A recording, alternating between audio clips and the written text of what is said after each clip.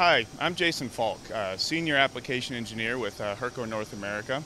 Uh, we've got a lot of interesting things in our booth this year at IMTS, uh, but we'd like to point out a few.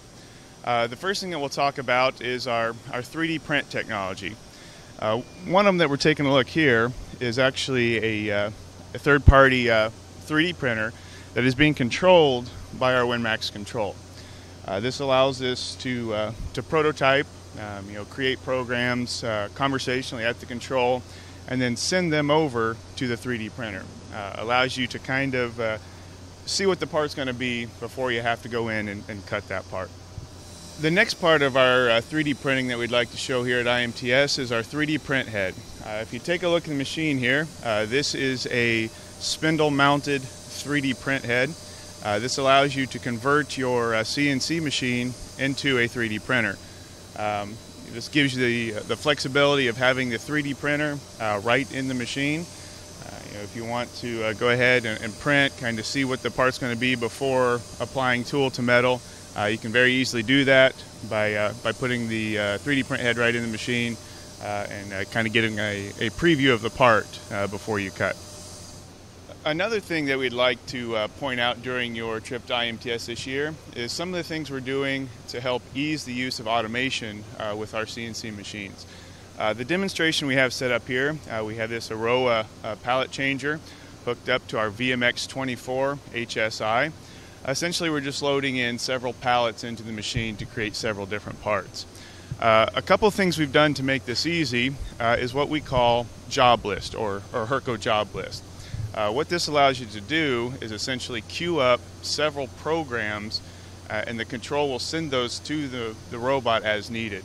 Uh, if you were doing lights out machining uh, or if you wanted to just leave a machine running unattended uh, for, a, for a large part of the day, uh, you simply queue up all the programs that you would like it to run and the control will take care of loading all the files needed to make sure that that file runs you know, such as uh, loading your part, tool setup, those kind of things. Uh, uh, we can do this with both our conversational and NC programs.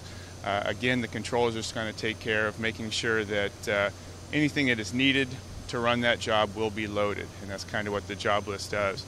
Um, along with this, uh, we've also got a, uh, a new feature of this, which will allow us to have the robot kind of dictate what's going to run. Uh, this would be good for kind of a cell manufacturing.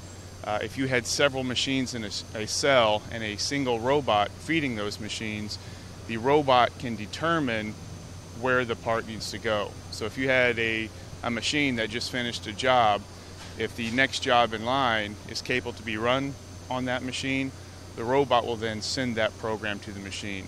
So there's no longer having to wait for a machine or, or maybe a machine sitting idle waiting for uh, for the part to be done. Uh, the robot can kind of see if the part can be run there and then go ahead and transfer that part into the machine.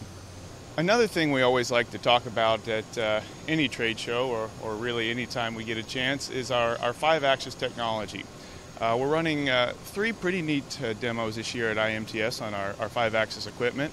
On our smallest five axis machine, the VM10U, uh, we're going to, or we are running, a, uh, a stainless uh, hydraulic port uh, for a helicopter.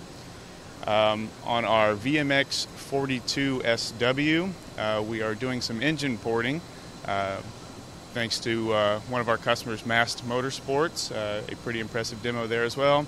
Uh, then here on our VC600, uh, we've got just kind of a, a fun demo uh, where we are cutting the Hurco O in the top of this dome.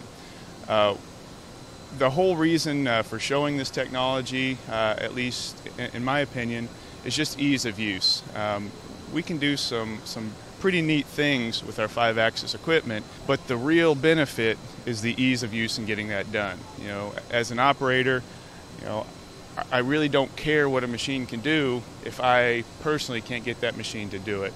Uh, so for me, uh, when talking with Hurco and five axis, it always goes back to ease of use.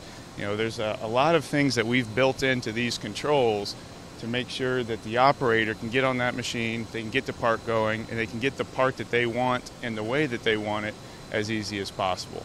I'd like to thank you for taking the time to watch this. Um, if you have any questions, uh, please take a look at our website. Uh, that's www.hurco.com.